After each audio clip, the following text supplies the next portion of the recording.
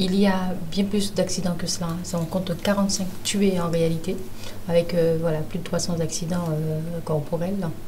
Et si nous lançons cette campagne, tout comme euh, les autres, les précédentes d'ailleurs, eh c'est tout simplement pour espérer sauver des vies. Pour espérer sauver des vies, mais également pour pouvoir tenter d'améliorer le comportement des usagers sur la route et amener vers un meilleur partage de la voirie du réseau routier.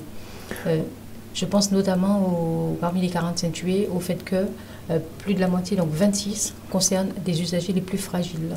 Ce sont les piétons, il y en a 10 qui sont décédés, deux cyclistes sont décédés également et 14 personnes en deux roues motorisés. Donc ces personnes n'ont pas de protection particulière, pas de carrosserie, donc forcément elles sont beaucoup plus fragiles par rapport à, quelqu'un qui est en, véhicule, euh, en, en, automobile classique. Donc il faut vraiment euh, que le message passe, un double message. Donc nous avons écrit Soyez vigilants la nuit. Il faudrait vraiment écrire euh, Soyez doublement vigilants. Donc déjà de jour, on demande cette vigilance, mais de nuit, on demande de redoubler de vigilance. Tout simplement aux automobilistes, eh ils doivent prendre conscience qu'il y a ces autres usagers qui euh, pratiquent aussi le réseau routier.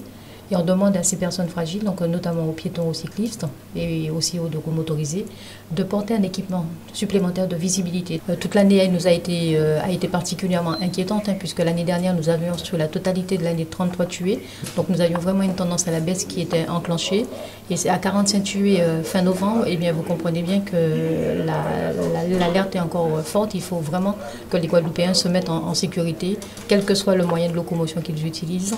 Euh, et, en fin d'année, évidemment, donc, euh, on parle aux piétons, on parle de partager la route, mais je vais déjà dire aussi qu'il faudra vraiment faire très attention à la consommation d'alcool, voire de stupéfiants en, cette période de fin d'année.